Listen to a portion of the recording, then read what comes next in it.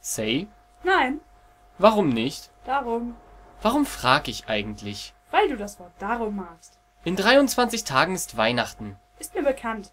Und dann sitzt du hier noch rum? Was soll ich sonst machen? Schreien im Kreis rennen? Warum nicht? Es ist nur Weihnachten, nicht der Weltuntergang.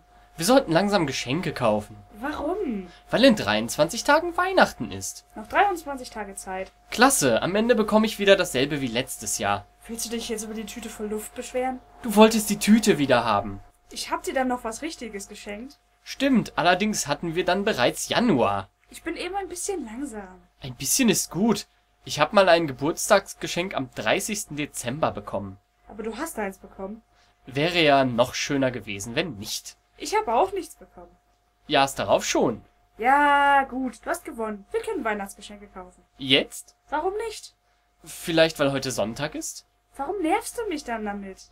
Ich wollte dich vorwarnen. Interessant. Können wir morgen in die Stadt fahren? Das können wir sicher, nur ob ich Lust dazu habe. Ich dreh noch mal mit dir durch. Ich weiß. Gemein. Das ist die Welt, mein Herz.